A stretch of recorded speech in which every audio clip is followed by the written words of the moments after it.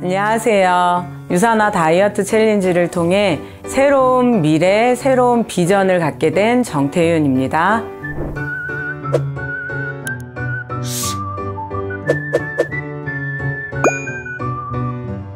감량은 한 9에서 10kg 정도 감량을 한 거고요.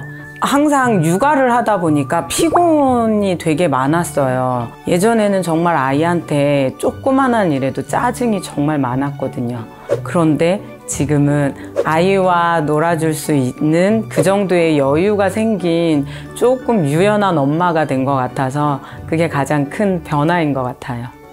그리고 예전에는 아이 낳고 살이 찌다 보니까 솔직히 사진을 찍어도 제 사진보다는 아이 사진이었고 그리고 제 모습 자체에 제가 자신감이 없었어요. 근데 예전에 몸 결혼 전 몸으로 조금씩 돌아가면서 나만의 자신감 이런 것도 생겨서 너무 좋은 것 같아요.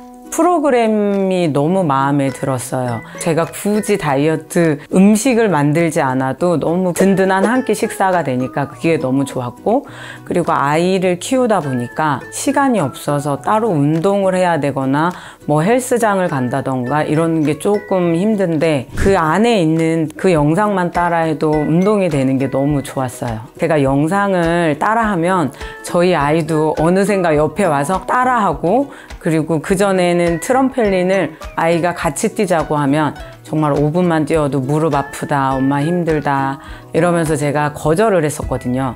근데 다이어트를 하고 나니까 이게 체력이 올라와서 그런지 제가 더 뛰자라고 할 정도로 너무 건강해진 게 너무 좋았어요. 아이와 함께 웃을 일이 많아졌다는 게 아이한테 너무 좋고 저한테도 또 다른 행복인 것 같아요.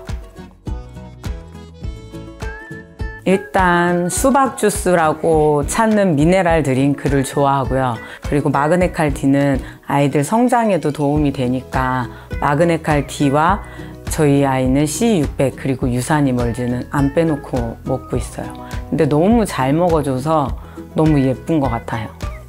건강한 다이어트를 찾고 계시고 굶지 않아도 되는 걸 찾고 계신다면 지금 유산화 다이어트 챌린지에 도전하시는 게 저는 답이다라고 생각을 하거든요. 건강해야지 살이 빠질까요? 살이 빠지면 건강할까요?